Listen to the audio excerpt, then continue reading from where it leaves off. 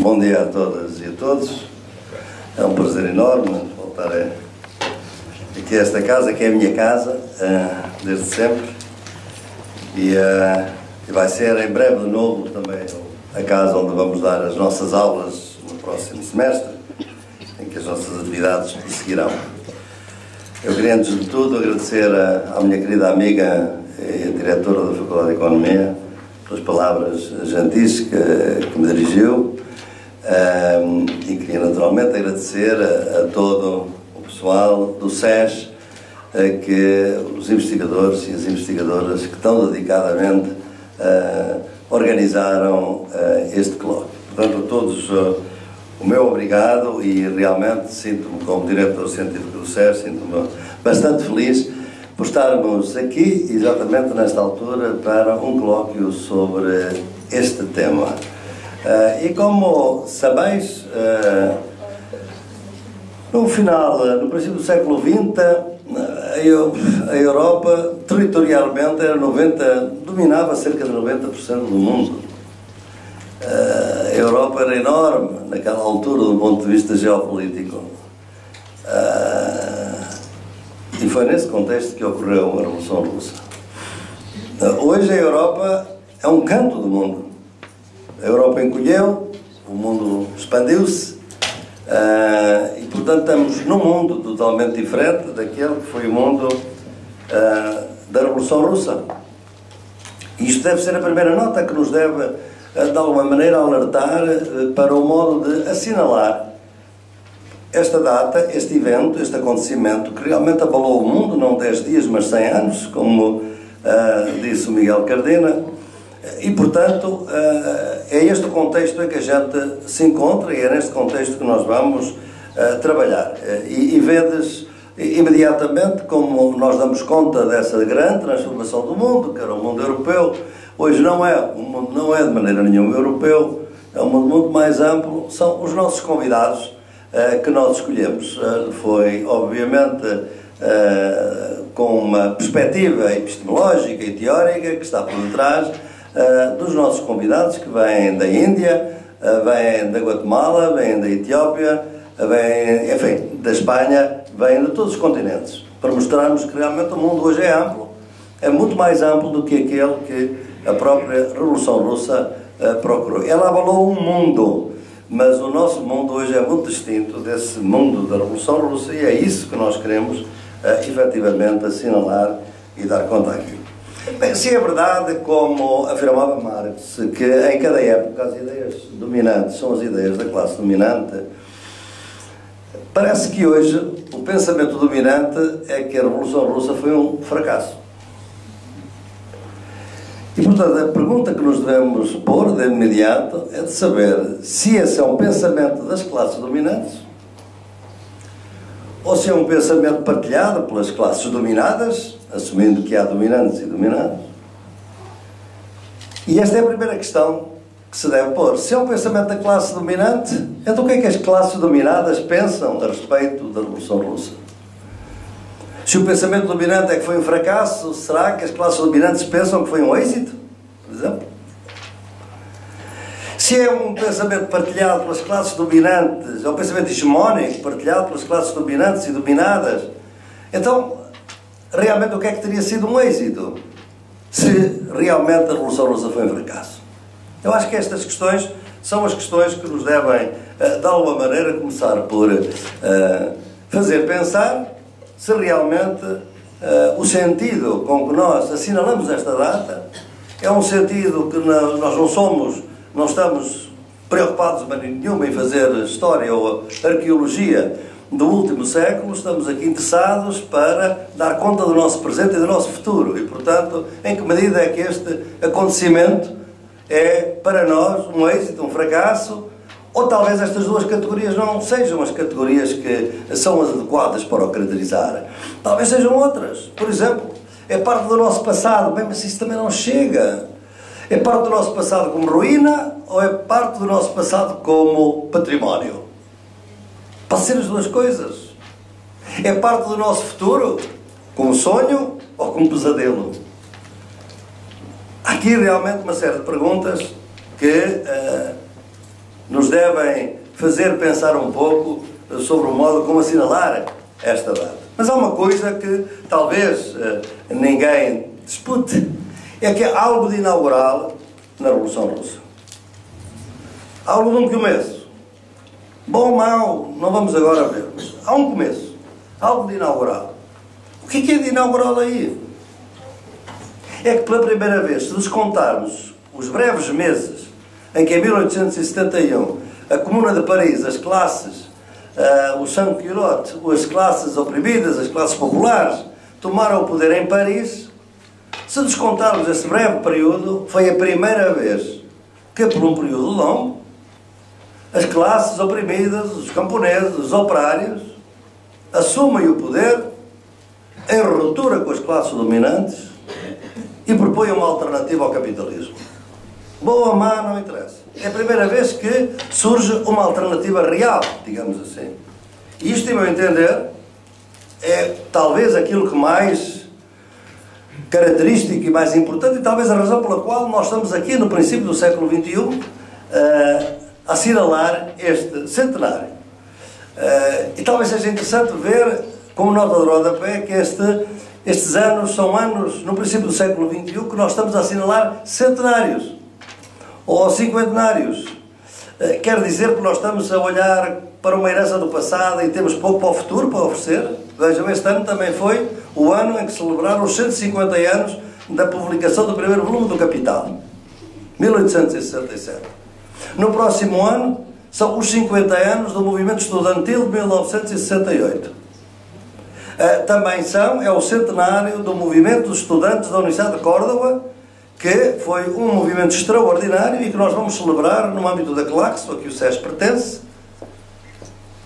em 2018, toda uma série de eventos que vamos terminar em Buenos Aires com o Fórum Mundial do Pensamento Crítico e com um grande congresso sobre as universidades populares, exatamente a partir daquela energia que os estudantes de Córdoba, Universidade de Córdoba, não da de Espanha, mas da, de, da Argentina, uh, fizeram uma revolução, um, grande, um novo modelo sobre a responsabilidade social da universidade. Portanto, estamos a assinalar várias coisas. Para quê? Para ganharmos energias, para darmos conta de um passado que quiçá terá saído mais rico que o nosso presente ou que o nosso futuro? Ou para mostrarmos que somos diferentes e melhores em relação a tudo aquilo que se passou? Eu penso que há aqui uma grande mistura de sentimentos e que, acima de tudo, talvez hoje, em que é tão difícil, vejam o último painel, eh, que é esta ideia é tão difícil imaginar que o capitalismo não tenha fim como imaginar que ele uh, nunca terá fim. Isto é, ela tem que ter um fim, porque é algo histórico. Uh. Esta dificuldade de uma alternativa é extremamente complicada no nosso tempo, neste momento. Não é? E a Revolução Russa o que significou foi uma alternativa, uma alternativa real. E a ideia de que hoje não temos uma alternativa talvez seja aquilo que nos move mais a voltar a este grande acontecimento para tentarmos fazer uma análise sobre ele. O que é uma alternativa real? É uma alternativa que não está nos livros, não está nos partidos, não está, uh, não está nas, uh, em proclamações, mas está na vida política real, na vida prática real das pessoas, para o bem e para o mal. E ela criou um pânico generalizado. Quando há uma alternativa real, há pânico. As classes dominantes reagem com pânico. O pânico que se apoderou das classes dominantes na Europa com a Revolução Russa é algo que é hoje difícil imaginar como é que esse pânico, talvez não seja tão difícil, quando vemos as intervenções imperialistas hoje na América Latina e em muitos lugares. Isto é, o pânico que haja uma transformação, uma alternativa, leva a uma reação violenta. E essas reações foram de dois tipos. Ou foram repressivas, a Revolução Russa foi, obviamente, objeto de uma, de uma grande agressão a seguir, com, com a Guerra Civil, uh, e, portanto, nós chegamos, chegou a haver cerca de 22 exércitos a lutar para conter a Revolução Russa, uh, exatamente ainda no final da, da Primeira Guerra Mundial e o que se seguiu depois de 1917. Portanto, a ideia de que era preciso conter uh, a Revolução Russa e, portanto, era preciso reprimi-la. Uh, aliás, alguns dos revolucionários fora da Revolução Russa uh, que mais lutavam pela ideia revolucionária, uh, recordo aqui a Rosa Luxemburgo e o Karl Liebknecht, acabaram por ser assassinados exatamente porque era preciso pôr fim à ideia da Revolução. Lloyd George, que era o primeiro-ministro da Inglaterra, em 1919 dizia a Europa atravessa está dominada por uma, uma pulsão revolucionária de les a les por toda a parte, a ordem económica, política e social é posta em causa pelas classes populares. E dizia: se enviarmos tropas para a Rússia, porque era esse o objetivo nessa altura destes governos, nós corremos o risco da Inglaterra se tornar bolchevique e de termos sovietes em Londres. Portanto, esta é a ideia do pânico, de que ela podia realmente alastrar a todo mundo. E Woodrow Wilson faz o mesmo, quando diz: nós temos que avançar na democracia económica nos Estados Unidos se não queremos que esta ameaça socialista se instale aqui no nosso país. As greves eram muitas nesta altura, quer nos Estados Unidos, quer por toda a Europa. Mas essas medidas de contenção não foram simplesmente medidas repressivas, foram também concessões que se fizeram. Ou seja, uma alternativa real suscita estes dois tipos, ou pelo menos historicamente suscitou estes dois tipos: repressão, mas também concessões. Por exemplo, na Bélgica, em 1918, é só em 1918 que os operários conseguem as 8 horas, o horário de trabalho das 8 horas uh, por dia, como horário de trabalho. É uma, obviamente, uma coisa nova pelo qual tinham lutar há muito tempo. E só em 1919 é que os operários belgas, todos os cidadãos belgas homens, obviamente, naquela altura, conseguem o sufrágio universal. E todas estas concessões são concessões que são entendidas como concessões para travar esta ameaça socialista que se tinha gerado, para surpresa de muitos, uh, num país relativamente atrasado uh, da Europa. Portanto, eu penso que uh, hoje, pelo menos se nós queremos imaginar que quando houver uma alternativa real, certamente haverá pânico e certamente haverá uh, também medidas repressivas e concessões e, e, se calhar o contexto é que vai decidir quais são aquelas que vão ser uh, que vão ser postas em prática. A menos que a gente pense que as alternativas agora não são deste tipo dramático, que foram aquelas que significaram a Revolução Russa. Mas o caráter inaugural da Revolução Russa também está nisto: é que ela levantou uma série de problemas que não resolveu, é meu entender, mas levantou. E esses problemas ficaram connosco. Portanto, eu penso que há algo de, não digo de incumprido, mas de problemáticas, eu vou dar uma série de exemplos de os problemas com os quais nós nos debatemos hoje e que não tinham a mesma acuidade, não tinham a mesma formulação antes da Revolução Russa. A primeira, o primeiro, uh, quiçá, é exatamente o que é uma revolução. Uh, para muitos, na altura, a, verdadeira revolução tinha sido a Revolução de Fevereiro. Uh, a Revolução de Outubro foi um, um, golpe. Lembram-se, os mais velhos aqui, que também em Portugal se discutia um tempo se a Revolução de 25 de Abril tinha sido um golpe ou se tinha sido uma revolução. É sempre assim. E, portanto, quando é que ela começou? Em outubro? Em fevereiro? Quando é que terminou? Quando Lenin decide suspender, anular ou eliminar a Assembleia Constituinte em janeiro de 2000, em 1918, ah, ou quando Stalin chegou ao poder, ah, ou quando são os grandes processos de Moscou em 36 e em 39, ou quando cai o muro de Berlim, ou quando Boris Yeltsin faz um golpe em 1991, quando acaba? Quando começa, quando acaba. E o que é? Em que consiste? Eu penso que esta ideia de que o que é uma revolução e como se distingue de outras coisas que o não são, uh, certamente é um tema que continua hoje aí. Tanto assim que nós não nos livramos desta, uh, desta ambiguidade do conceito de revolução. Ainda no princípio do século XXI, nós tivemos três governos eleitos democraticamente que se consideravam revolucionários. A Revolução Bolivariana da Venezuela, a Revolução Cidadã do Equador, a Revolução Comunitária da, da Bolívia. Portanto, há aqui, estes termos estão connosco. A segunda, um dos, uh, um dos segundos, o segundo tema, eu diria, é o que é o, o socialismo.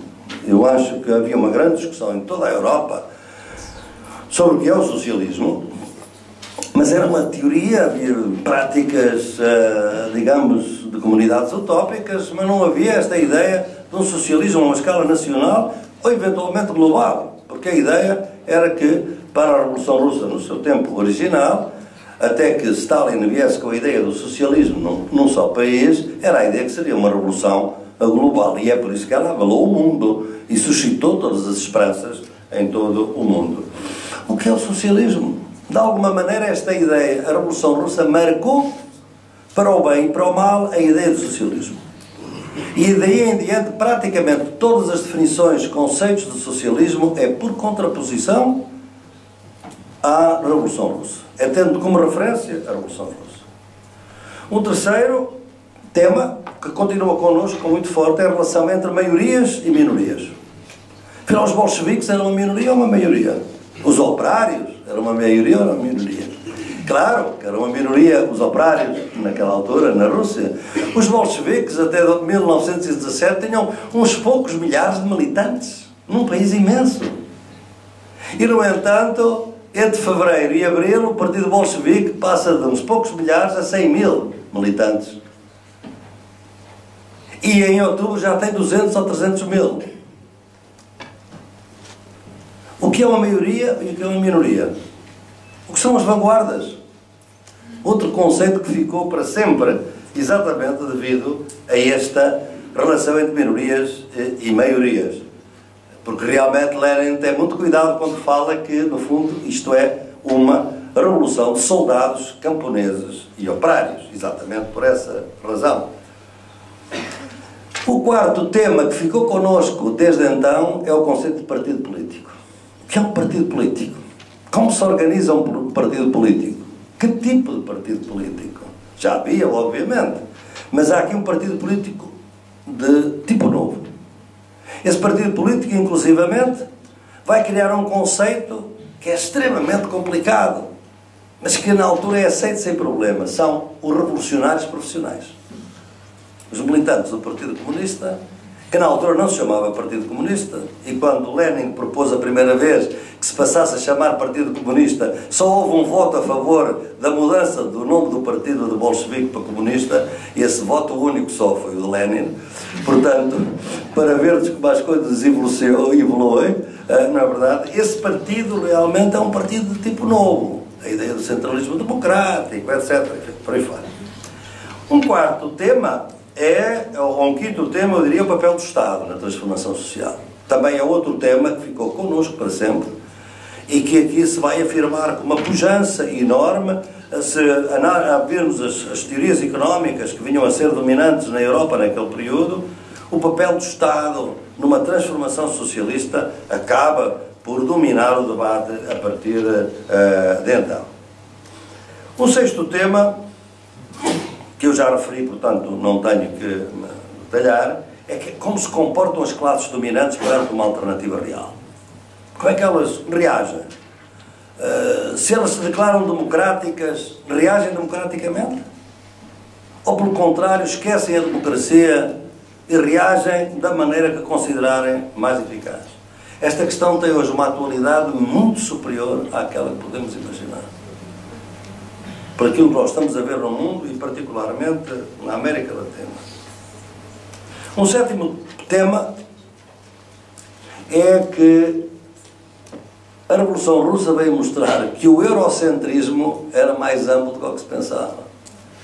Isto é, a Revolução Russa é um fenómeno eurocêntrico, de alguma maneira. A concepção que está por detrás, e aliás, que vem do próprio Marx, de alguma maneira, a relação entre Marx e a Revolução Russa seria outro tema, obviamente, dá a impressão que se Marx estivesse a observar aquelas coisas, devia tomar uma distância imediata em relação ao que estava a passar, a muitas coisas. Mas mostra que, afinal, o eurocentrismo tem uma versão capitalista, liberal, e uma versão socialista. Diferente. Partilham muitas ideias acerca da relação da sociedade com a natureza, acerca da ideia do progresso, acerca do papel da ciência, mas é muito diferente daquilo que estava instalado. Portanto, o eurocentrismo mostra uma ductilidade, uma complexidade muito O oitavo problema é a questão do sujeito histórico.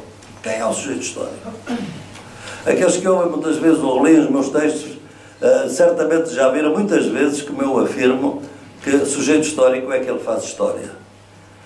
Mas naquela altura não era assim. Era preciso saber quem era realmente o sujeito histórico. Classe operária.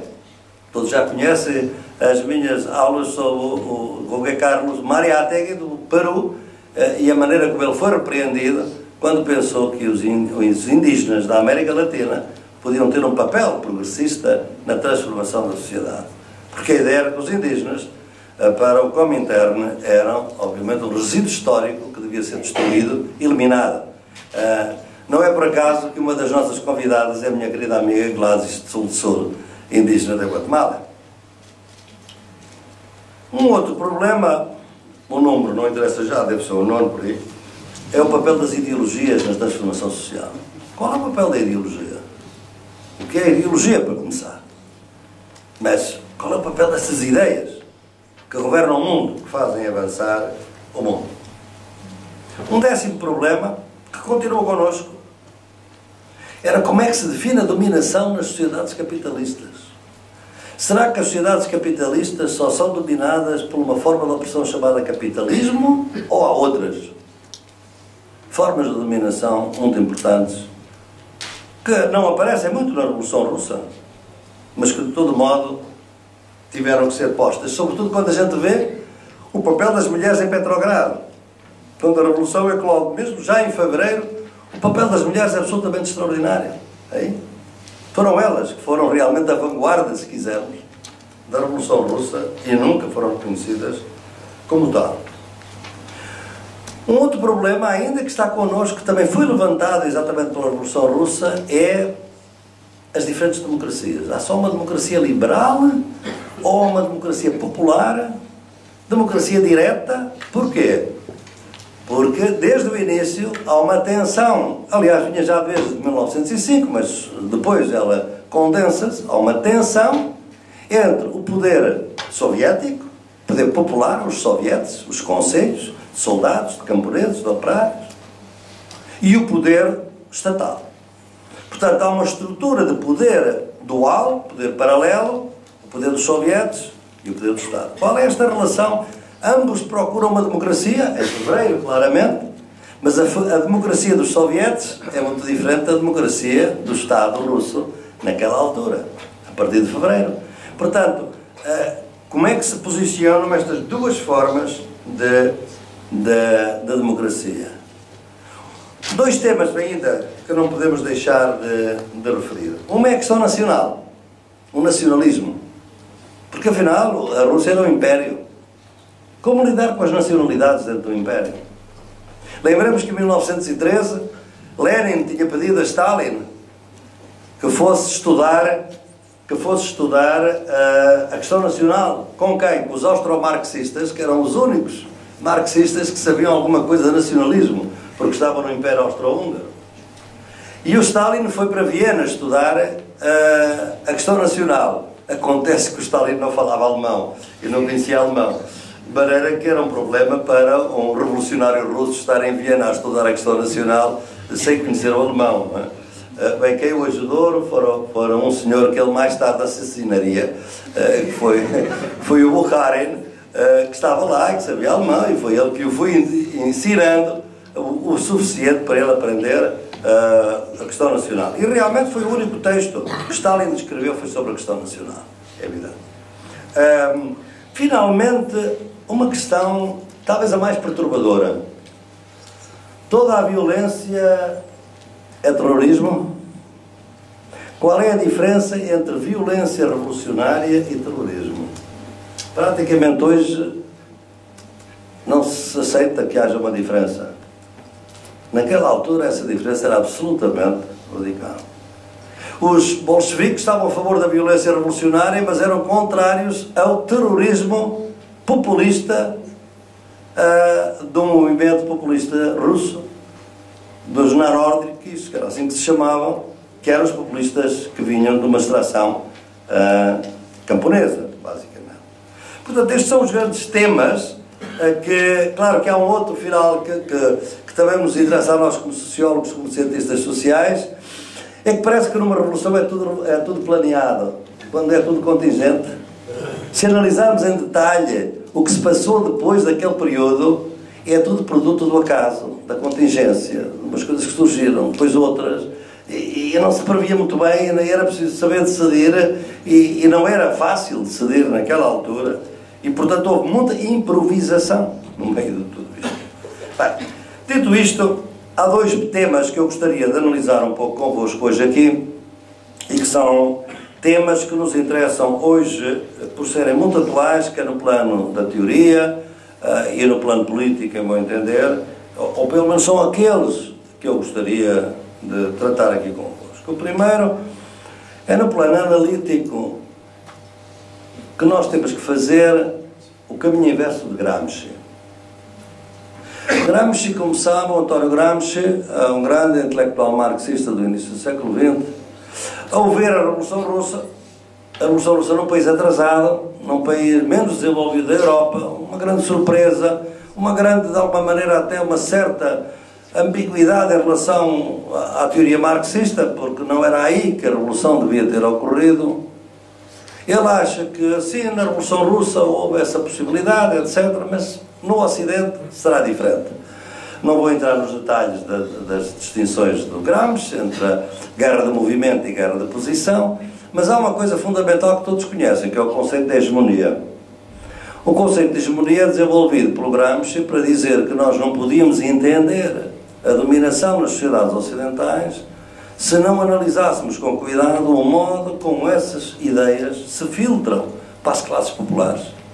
Para aqueles que são prejudicados efetivamente por essas ideias mas que consideram suas e que afinal até as adotam, apesar de serem um tiro no pé, apesar de serem prejudiciais, elas são hegemónicas nesse sentido. É? Esse conceito é fundamental e, portanto, ele dizia: não basta analisar a dominação, é preciso analisar a hegemonia. Eu acho que hoje, no início do século XXI, nós precisamos de fazer a trajetória inversa de Gramsci da hegemonia para a dominação. Eu acho que a dominação hoje é cada vez mais invisível. Ela é tão permanente que é invisível.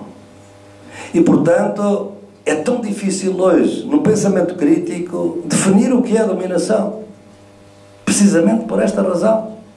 Porque o capitalismo não é um modo de produção hoje, é um modo de vida. E portanto o inimigo somos nós, partilhamos esse modo de vida. Se pusemos em causa o capitalismo, estamos a pôr em causa a maneira como nós nos vestimos, como vamos ao supermercado, como andamos na rua, como usamos os nossos automóveis, etc. É um modo de vida. Portanto, de alguma maneira, o poder tem uma, uma grande, não só uma grande presença. Eu tenho usado alguns textos que conhecem o meu conceito de dronificação do poder. O poder é um drone que não tem medo, digamos assim, dos seus adversários, dada a sua superioridade tecnológica, e é um modo de vida, é um drone que está dentro de nós, de alguma maneira. Portanto, nós temos que voltar a ver quem é que nos domina e como é que nos domina. Esse tema é um tema que eu tenho tratado bastante nos meus trabalhos e, como sabem, do grupo que eu tenho vindo a construir e que aqui no âmbito do SES e que é partilhado por muitos, uh, e que nós chamamos as epistemologias do Sul, nós temos vindo a definir que e a trabalhar para definir qual é a caracterização da dominação hoje. E essa dominação é caracterizada por três, três grandes formas de opressão e de dominação, que é o capitalismo, o colonialismo e o patriarcado. E, portanto, as nossas sociedades não se entendem se nós não entendermos que elas estão sempre presentes, que o colonialismo não terminou. O colonialismo mudou de nome com as independências, mas não terminou. Uh, é por isso que talvez nem usemos o conceito de colonialidade, porque pensamos que é mesmo colonialismo, sob outras formas, e obviamente o patriarcado também continua a ser a opção das mulheres como uma grande dominação e das orientações sexuais. A heteropatriarcado, o heteropatriarcado talvez fosse a maneira mais uh, rigorosa de, de dizer como forma de dominação e não apenas patriarcado. Portanto, estas três articulam-se e são parte de um grande conjunto sem os quais nós não entendemos as sociedades contemporâneas. Claro que isto obriga a um grande trabalho de saber, mas afinal, quem é que está primeiro? Eh, qual é a mais importante? são sempre todas igualmente importantes. Para nós é fundamental ver esta articulação, porque o que nós vemos é que a dominação, em termos políticos, a direita está sempre unida e as classes dominadas, ou os seus representantes, ou seja, a esquerda, está sempre desunida. Uns lutam contra o capitalismo, outros contra o colonialismo, outros contra o patriarcado, mas separados. É preciso unir, para isso é preciso teorizar as articulações entre os diferentes. Isto, obviamente, é ir uh, para além de Marx, mas irmos de uma maneira marxista para além de Marx, se quiser. Se eu estivesse aqui, talvez até concordasse. Eu não sei. Mas também não me interessa muito com toda a Mas o segundo ponto é sobre o qual eu queria dedicar um pouco mais de atenção é já uma questão de política, da ação política, não é tanto o diagnóstico, esta inversão da hegemonia para a dominação, é realmente quais são os meios de ação política no nosso tempo. Eu penso que a Revolução Russa nos mostrou tragicamente uma dicotomia que continuou connosco até hoje e que sofremos hoje muitas consequências de uma ausência brutal dessa dicotomia. Ela hoje está presente pela ausência e não pela presença. Essa dicotomia é a dicotomia entre revolução e democracia. É a grande dicotomia que vai ser um grande campo de debate a partir de 1917. A revolução é uma tomada de poder uh, não violenta, morreram seis pessoas no dia da tomada de poder do, do, do, do Palácio de Inverno, morreram muitas outras depois durante a Guerra Civil, obviamente, milhões, como sabemos. Mas naquela altura não foi violento, mas foi uma ruptura, obviamente, uma ordem política, para instaurar uma democracia popular dos sovietes. E esta tensão entre uma ruptura e um trabalho democrático, que a democracia tem obviamente um paradigma dominante, que é o paradigma da democracia liberal, dos partidos, das eleições, do respeito pelas maiorias, de checks and balances para as minorias, etc. Como é que isso vai articular, a revolução e a democracia? Eu penso que esta tensão estava no início muito forte. E a ideia, é a minha convicção da leitura dos textos e dos documentos que têm vindo hoje disponíveis, que realmente há aqui uma tentativa de tentar uma democracia revolucionária, uma revolução democrática, digamos assim. Mas a certa altura há uma tensão e há uma ruptura. A revolução cria uma identidade própria e, por oposição a ela, a ideia da democracia. E cria-se um abismo entre uma ação política revolucionária e uma ação política democrática. E esse abismo esteve connosco todo o século XX e continua connosco hoje de uma ou de outra forma. Quando é que essa reestrutura se dá? Se calhar dá-se no início de janeiro, quando os bolcheviques, que não tinham a maioria na Assembleia Constituinte, decidem anular, fechar a Assembleia Constituinte. Pode ter sido antes, pode ter sido depois, não interessa, os historiadores divergem muito a respeito desta questão. No entanto, esta, esta distinção, em meu entender, e portanto é uma posição pessoal, obviamente, minha, a constatação com a análise dos textos, e aquilo que me interessa, teoricamente, é que essa separação foi fatal. Quando se separa o modelo revolucionário do modelo democrático. Foi fatal. E é talvez o grande custo da, da Revolução Russa foi uh, que essa, essa separação se desse. Quem é que viu melhor nessa altura a fatalidade desta distinção e o perigo que ela constituía. Uma grande revolucionária, Rosa Luxemburgo. Rosa uh, escreveu, não se sabe bem até a data em que ela escreveu, ela foi assassinada em, 1800, em 1921, mas uh, foi pouco tempo antes, ela escreveu um texto sobre a Revolução Russa. E esse texto é um texto absolutamente notável porque ela era uma mulher que, revolucionária, do, aliás, da extrema esquerda, revolucionária, se quiserdes, do movimento Spartacus alemão, que não podia com os sociais-democratas que viam e uh, que eram quem vai assassinar pouco tempo depois, e que, segundo ela, Karl Kautsky estaria nessa conta.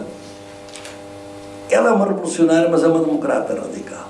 E não gosta de ver o que se está a ver na Revolução Russa escreve um artigo extremamente corajoso que não foi publicado na altura, que foi publicado truncadamente, porque os revolucionários não queriam que se conhecesse a totalidade do texto, e só muito mais tarde é que vamos ter a versão integral deste texto, e curiosamente ela surge primeiro em inglês do que propriamente em alemão.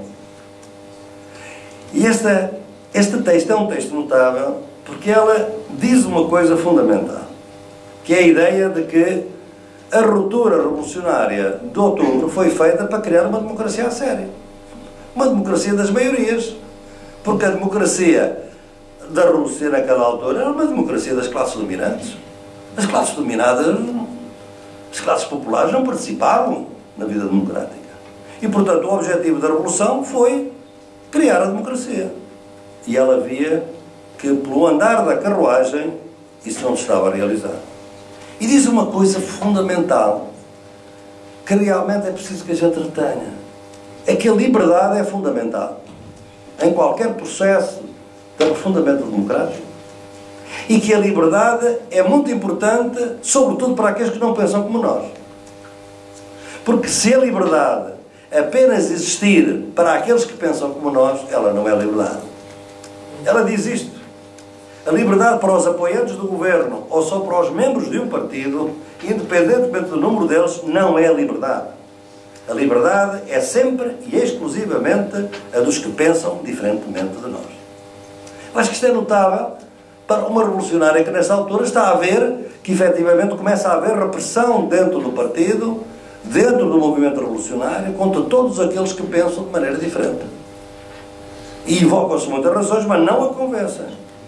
E diz exatamente algo a seguir que é extraordinário, a meu entender, para se mostrar como muito cedo, quando se diz que os revolucionários eram todos uns loucos, etc.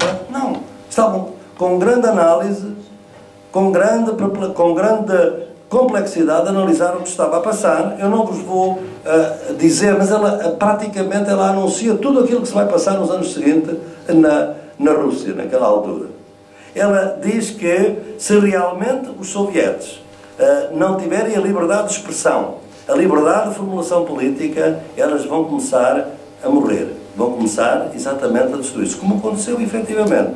E, portanto, a vida pública, deixem-me ler em inglês, está aqui o meu amigo Kamal, pelo menos esta parte sai em inglês. Public life gradually falls asleep. A few dozen party leaders of inexhaustible energy and boundless experience direct and rule. Among them, in reality, only a dozen outstanding heads of to the, to the, the leading an elite of the working class is invited from time to time to meetings where they are to applaud the speeches of the leaders and to approve proposed revolutions unanimously. At the bottom, they are a clique affair.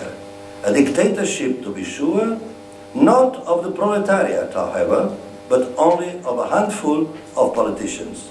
Such conditions must inevitably cause brutalization of public life, attempted assassinations, shooting of hostages, etc. Portanto, isto é só para vos mostrar que realmente esta separação foi brutal. Portanto, o que é que eu vos proponho na parte final da minha, da minha palestra? é isto. É que nós começámos o século XX com dois grandes modelos de transformação social: a Revolução e a democracia, totalmente separados. E iniciamos o século XXI sem nenhum deles. A Revolução não está na agenda e a democracia foi sequestrada por antidemocratas. Em grande parte dos países do mundo hoje, a democracia é um instrumento de imperialismo, só está dominada e só podem ter a palavra os bilionários, como nós estamos a ver, que chegam ao poder, sejam Macri, sejam Trump, sejam o que seja.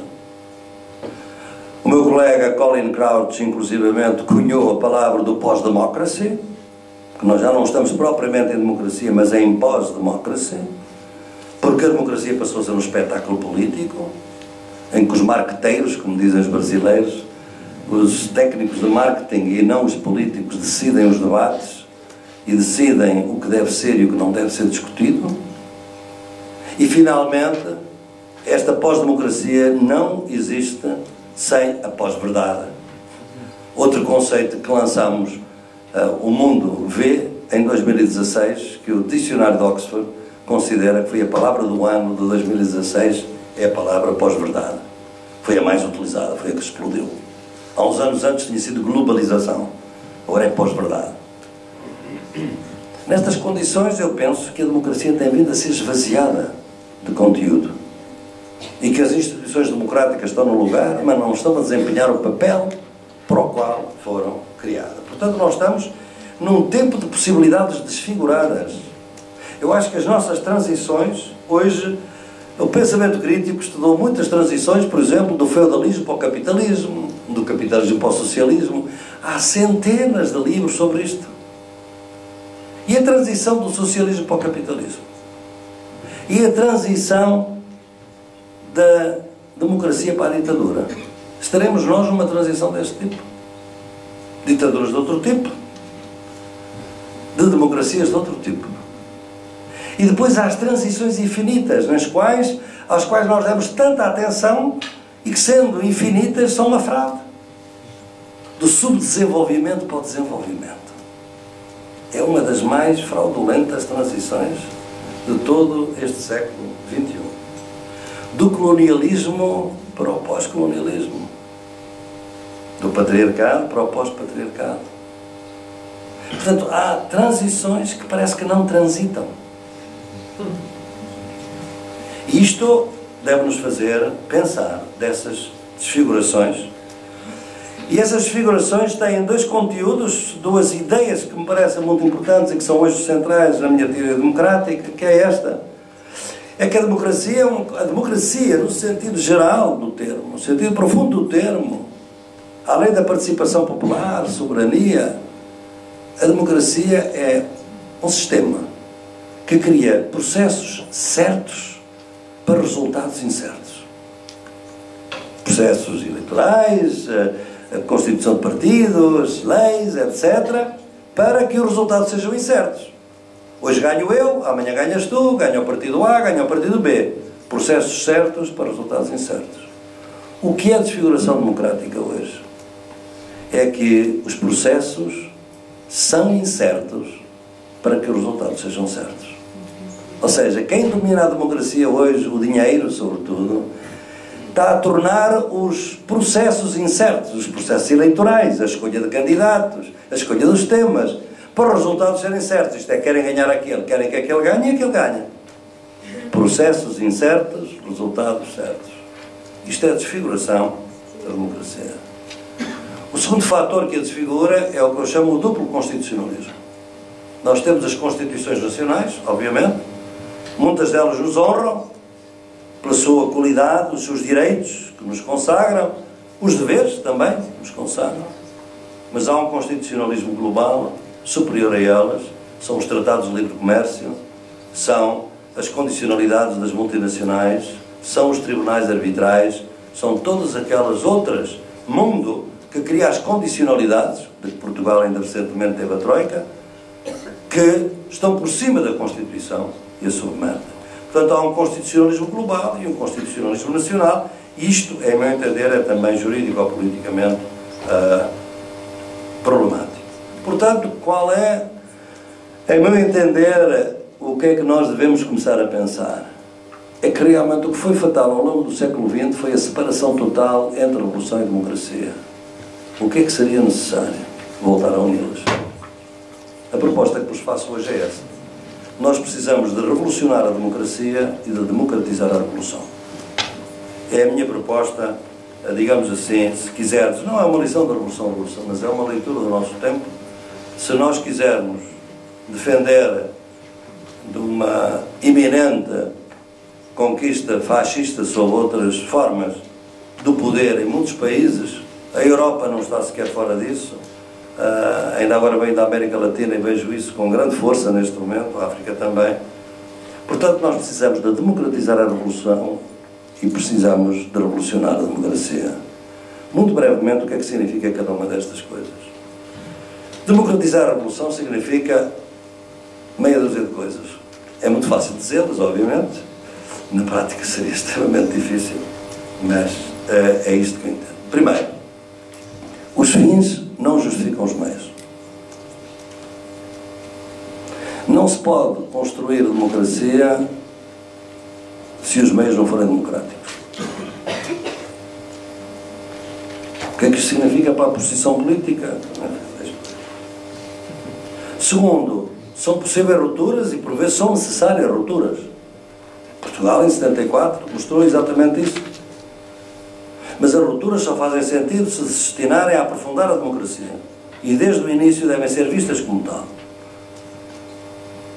Ainda agora, nestes dias, temos o Zimbábue. Acaba de se fazer uma ruptura. Qual é o objetivo da ruptura? É aprofundar a democracia do Zimbábue, como os nossos amigos zimbabuenos querem, e com, com, com os quais muito trabalhamos. Ainda realizámos uma, uma oficina da Universidade Popular dos Movimentos Sociais o ano passado em Arara. Muitos dos nossos amigos estão aí na luta. Será para isso que se vai conseguir? É só isso que é. Terceira ideia. Não há uma concepção única de emancipação ou de libertação. Há múltiplas concepções.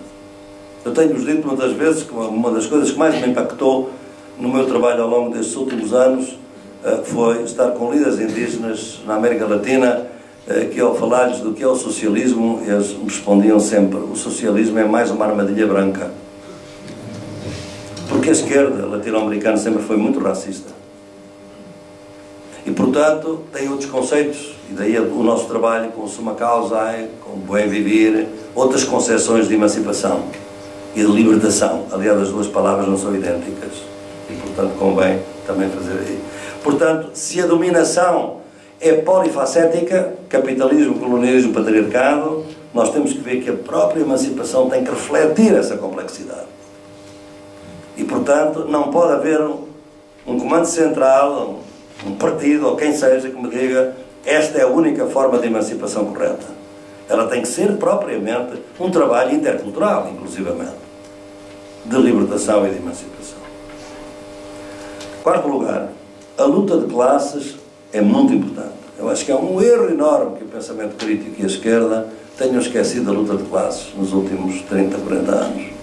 Agora, a luta de classes é uma luta entre outras. É uma luta importante, mas a luta contra o racismo é igualmente importante. A luta contra o patriarcado é igualmente importante. E neste momento, pode haver outras opressões, até religiosas neste momento. Neste momento, a, a, opressão religiosa em alguns países começa a ser também uma grande forma de opressão. Mas as principais, para mim, continuam a ser estas três.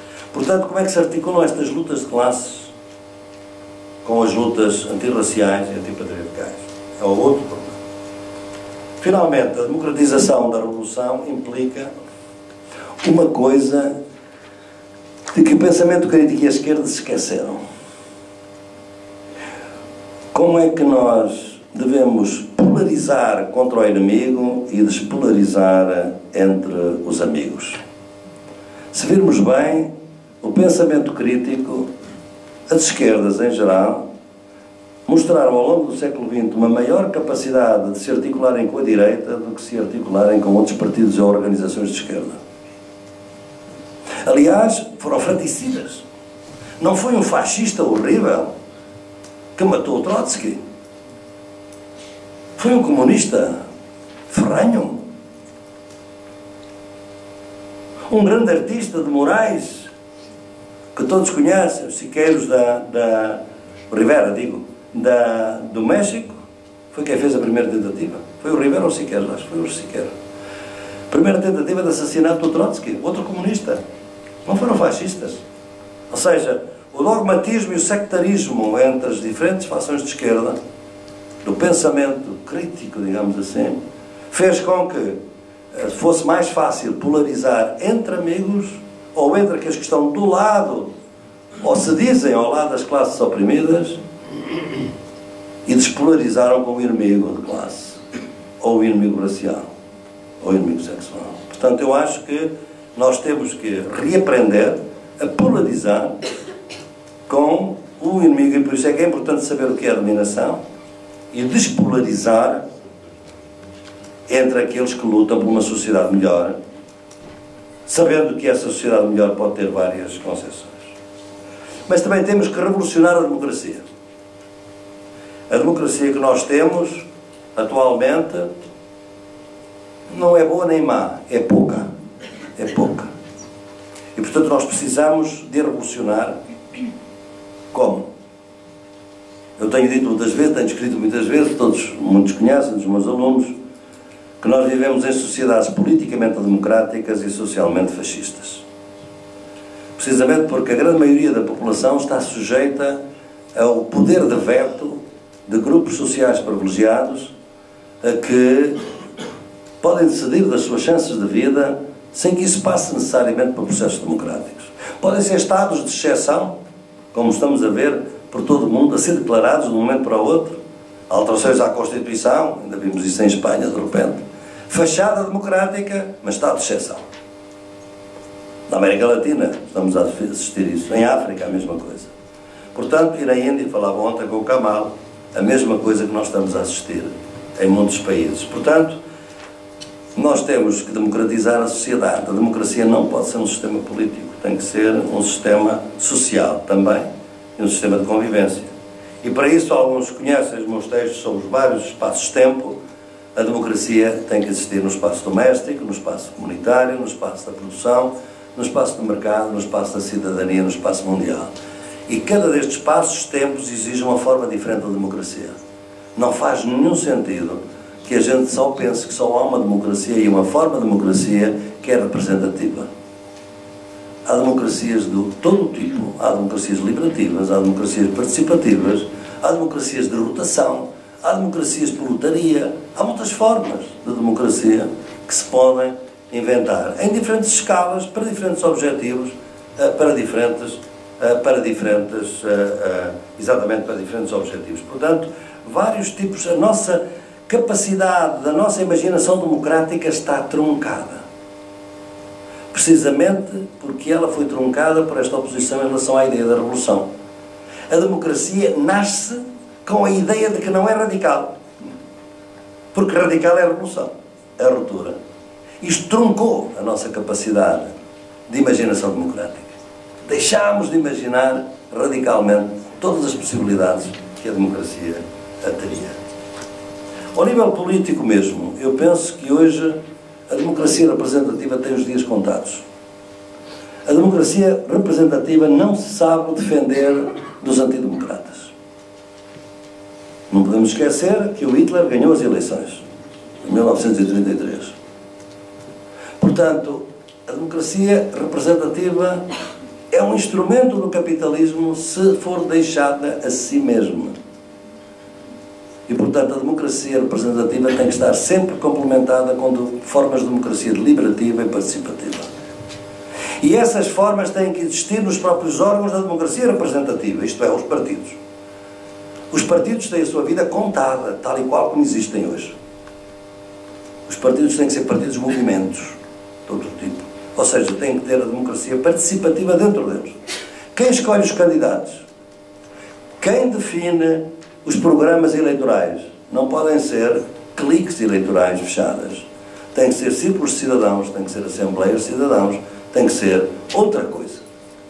E eu vejo que há sinais disso na Europa, os, como os conhecem, que eu acompanho muito de perto, o Podemos na Espanha, nós temos em Portugal também algumas emergências, está aqui o Bom Carlos Monedero, que nos vai falar, Venho do Brasil, esteve na ocupação de São Bernardo do Campo, uh, onde uh, o movimento, o movimento Vamos, uh, está de alguma maneira a articular-se com a resistência à opressão daqueles que querem o direito à moradia. Portanto, talvez dê um partido, talvez não dê um partido, talvez articule com outros partidos, seja o PT, seja o PSOL, não sabemos. Só os brasileiros é que entendem estas siglas aqui. Mas também não, não, não interessa neste momento. Uh, de todo modo, é a ideia do partido movimento. Só que mesmo isto não chega. O grande problema nosso é que, em períodos eleitorais, são os partidos que contam, não os movimentos. Nós temos que alterar o sistema político para que os cidadãos não sejam obrigados a estar em partidos. Porque é que é onde estar em partidos? Se os partidos são partidos, ou seja, partem. Portanto, é preciso movimentos partidários. E é preciso presenças coletivas. E há dois temas que são importantes com os quais eu termino na Revolução da Democracia. A esquerda, o pensamento crítico, esqueceram-se completamente, e os democratas, de uma distinção fundamental entre legalidade e legitimidade. Nem tudo o que é legal é legítimo. E aqui é uma distinção que a esquerda tem que aprender e o pensamento crítico tem que saber. O pensamento democrático é uma grande distinção que sai bem em inglês, sai muito melhor em inglês que em português. Mas enfim, vamos ver. Rule of law e rule by law. Rule of law é o primado do direito. A rule by law é o primado da lei. Hitler era rule of law, mas não era rule by law. Era rule by law, mas não era rule of law. A rule of law, primado do direito, é o direito que tem muito ancoragem nos direitos fundamentais, naturais inclusivamente. Nas grandes declarações de direitos humanos, por exemplo. Podem não estar escritos. A Constituição inglesa é o melhor exemplo. Não está escrita sequer. Rule of law não é rule by law. Hitler está no rule by law, não no rule of law. Nós, no pensamento crítico democrático, confundiu inteiramente rule of law com rule by law, primado do direito com primado das leis. E isto destrói. Há muita atividade legítima que não é legal. Porque vos digo, o objetivo deste sequestro da democracia é ilegalizar, por exemplo, o protesto social.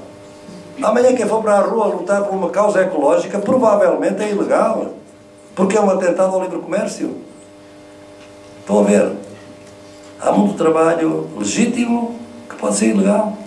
Em meu entender, se for pacífico, é legítimo. Mas isso é porque é a minha opção. Sou um pacifista, não tem nada a fazer. É assim. A segunda característica é que nós vamos entrar num período a revolucionar a democracia significa isto. Vamos entrar num período em que a gente tem que estar com um pé nas instituições e um pé fora das instituições.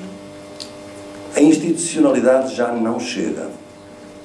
Porque as instituições estão viciadas, muitas delas estão sequestradas e, portanto, nós temos que combinar numa luta democrática a luta institucional e a luta extra-institucional. Ou seja, a luta na rua, a luta nas praças, a luta insurgente. É esta luta que se tem que manter. E essa tensão tem que ser assim. Porque o poder das classes dominantes só cede quando esta articulação se dá. Só que ela é muito difícil de fazer. E dou-vos também mais um exemplo do meu trabalho e da minha participação política. Ainda agora, 15 dias. Uma ocupação dos sem moradia em São Bernardo do Campo. 8 mil famílias, 20 e tal mil pessoas. Em barracos de lona. Que quando eu falo com um dos líderes da comunidade daquele acampamento, digamos assim, eu pergunto, então qual é o... O nosso problema é a guerra. Eu disse, qual é a guerra? É a guerra dos, dos condomínios que estão à volta, que já tentaram matar gente dentro da ocupação, nos barracos. Disse, não, a nossa guerra é chuva. Quando vem as chuvadas torrenciais, elas destroem o plástico, porque os barracos são de plástico. Então destrói. E fica uma terra arrasada. Vocês olham para o acampamento e parece exatamente um pós-guerra. A Síria. Parece assim uma ideia de Síria. Depois de uma chuvada torrencial. Curiosamente, o ano passado no Brasil morreu mais gente que morreu na Síria. Guerra civil óbvia no Brasil hoje em dia. Não? É? Pois bem, o que é que aconteceu? O governador do Estado de São Paulo nunca quis negociar aquela ocupação porque aquela terra, aquela propriedade é privada e, portanto, não se negocia com invasores. O que é que eles fizeram? Uma marcha de 23 quilómetros da ocupação de São Bernardo até à sede do governo estadual. No dia seguinte estavam a negociar com o governador. Ou seja, um pé na rua e um pé nas instituições. Forçar por fora das instituições para ganhar a negociação institucional. Isto é muito concreto. Pode ser muito teorizado, mas é muito concreto. Porque aqueles que estão a viver estão a viver desta forma. Portanto, eu acho que qualquer análise hoje destes 100 anos que abalaram o mundo e que certamente vão abalar porque continuamos com as formas de opressão e de dominação, talvez a melhor maneira de olharmos, não como lição, mas como experiência que nós não podemos deixar de ler à luz de tudo aquilo que se passou, é democratizar a revolução e revolucionar a democracia. Seria a melhor maneira de continuarmos a tentar produzir as tais alternativas reais. Porque sem alternativa real, a miséria, a opressão, a exclusão, por mais opressiva, não gera resistência. Ao contrário do que muita gente pensou durante muito tempo. Não é a exclusão que gera a resistência. É a ideia da esperança, e para ter esperança é preciso ter uma alternativa. Muito obrigado.